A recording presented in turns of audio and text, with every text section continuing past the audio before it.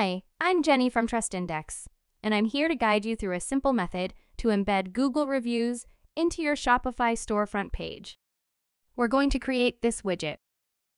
As a first step, connect your Google business profile to Trustindex so we can download and keep your reviews up to date. Type your Google business profile name.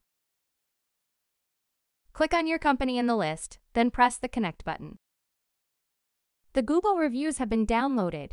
Now let's create a widget. You can choose from different widget layouts.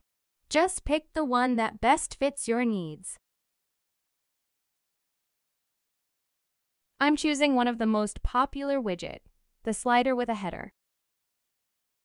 In the next step, you can choose from pre-configured widget styles, which you can then customize further in the widget editor.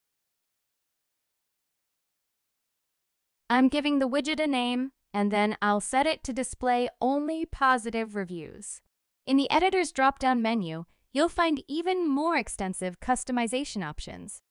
Once you're done, click the Save and Get Code button and copy the widget embed code. Let's now navigate to the Shopify administration panel. Click on the Customize button on the Themes page.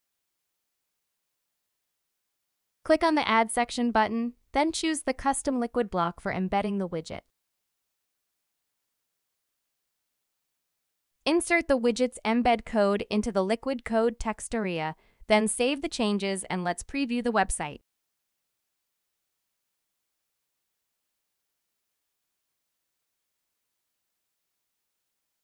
The widget appears on the website, but it's displayed at full width. If you want it to align with the content width, you'll need a bit of custom CSS code. Let's go and modify the width of the widget. You'll find the CSS code in the description below the video. Let's save the changes and see the result.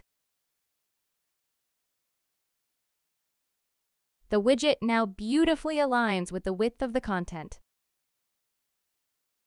This is how easily you can embed your Google reviews. Create a Trustindex account and build your own widget now. You'll find the link in the description below the video.